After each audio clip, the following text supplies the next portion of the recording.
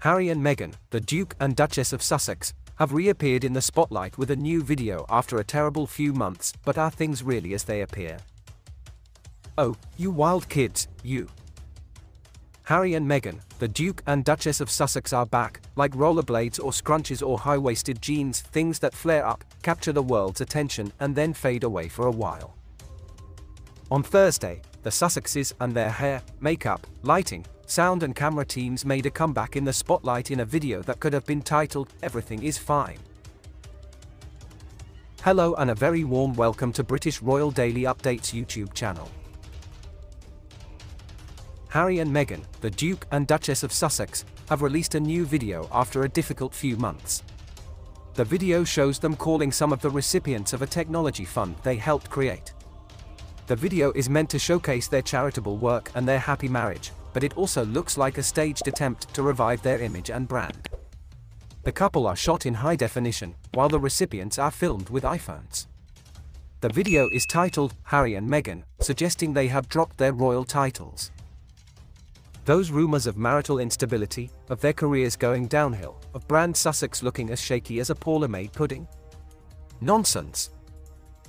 Here are the Duke and Duchess, splendid in matching modern casuals, in the warm Californian light radiating with good health, expensive skincare routines and the benefit of countless yoga poses just being their brilliant, charitable selves. You know, just a normal weekday at Sussex. Real heroes don't wear capes, they wear cashmere. Specifically, the 2 minute and 40 second video features the couple calling some of the 26 recipients of the inaugural 2 million US dollars funding round from the Responsible Technology Youth Power Fund. The Archewell Foundation helped found the fund, however, it's not known how much they specifically contributed. The video is delightful, lovely stuff on one level, full of people who fervently want to make the world a better place and are actually doing something about one of the great horrors of 21st century life, see internet and social media. But the real stars of the show are the Duke and Duchess, or as they are billed on screen, Harry and Meghan, having seemingly swapped their royal titles to go for mononym status, Madonna or Beyonce style.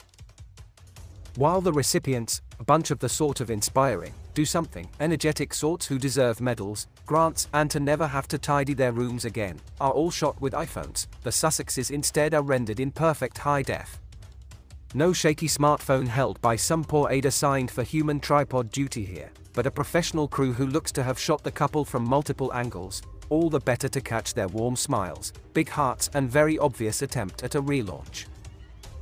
Or maybe we should call it a comeback or a redo or a reset or a fight back.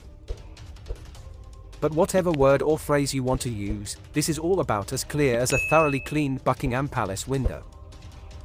The last few months have been some of the toughest and most harmful for the Duke and Duchess of Sussex.